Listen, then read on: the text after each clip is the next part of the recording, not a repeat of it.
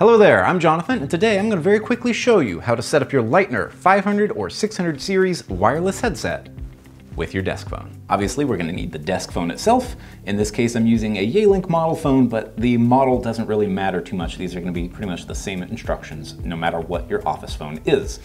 And I have my Leitner already, obviously we'll need that. I have that already connected to power because I like the pretty blue light.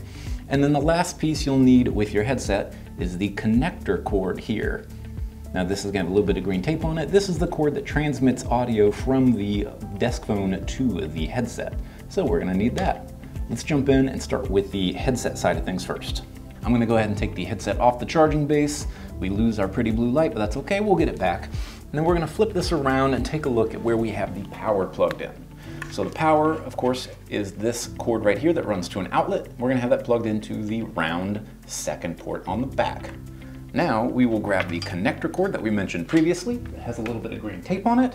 And we're gonna plug that in to this port right here, directly to the right of the middle big silver port. Bam. While we're here, we also need to make sure we've got some settings correct on the bottom.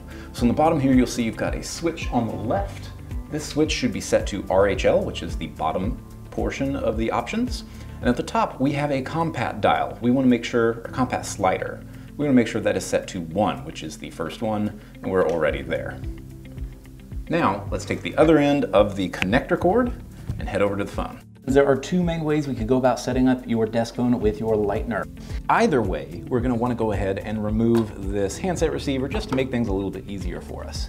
And then we're gonna check the ports on the back of the phone to determine which path we'll take.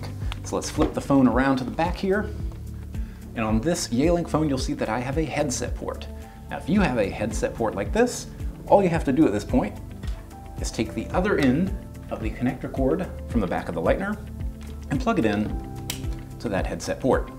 Voila, you're done. But if you don't have a headset port, never fear. We'll just unplug from our headset port here, and instead, we will take the other end of the curly cords receiver, the receiver for your phone, and unplug it from its handheld receiver port. We're gonna set that to the side and plug your connector cord into that spot instead. Now, we'll take that receiver curly cord and we're gonna go to the back of the Leitner one last time. Okay, if we're setting up using the handset port on your phone, the last piece of the puzzle is gonna be to take this curly cord that's connected to your handset receiver, go to the back of the Leitner, and plug it into this far right port on the back. Bam.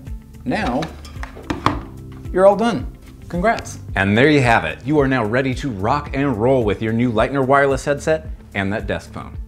And of course, if you have any other questions or you need any other help at all, always feel free to give us a call at 1-800-HEADSETS, where any one of our headset advisors would be more than happy to help you. Thanks for watching. We'll see you next time. Ta-ta for now.